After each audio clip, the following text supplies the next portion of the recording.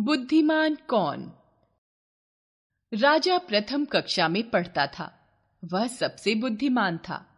सभी उसका सम्मान करते थे। राजा को अधिक मान सम्मान पाता देखकर कक्षा के कुछ छात्र उससे ईर्ष्या करने लगे। एक दिन यश ने अपने अध्यापक से पूछा, महोदय, राजा में ऐसी कौन सी विशेष बात है जो अन्य छात्रों में नहीं है? क्या हम उससे कम बुद्धिमान हैं? आप सदैव राजा की ही बड़ाई करते हैं। यह सुनकर अध्यापक महोदय मुस्कुरा दिए।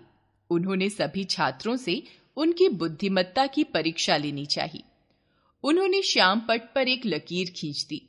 फिर वे सभी छात्रों से बोले, जो इस लकीर को बिना कहीं से काटे छोटा कर देगा, वही सबसे बुद्धिमान कहलाएगा।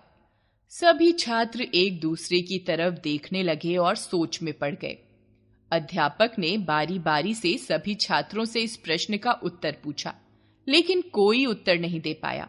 अंत में अध्यापक महोदय ने राजा से इस प्रश्न का उत्तर पूछा। राजा उठा और श्याम पट के पास जाकर उसने उस लकीर के बराबर एक बड़ी लकीर खींच दी। अब अध्यापक ने सभी छात्रों से कहा, देखो, अब पहली लकीर बिना कहीं से काटे छोटी हो गई। अब ईर्ष्या करने वाले सभी छात्र लज्जित हो गए। उस दिन के बाद बच्चों ने अध्यापक से राजा की कभी शिकायत नहीं की।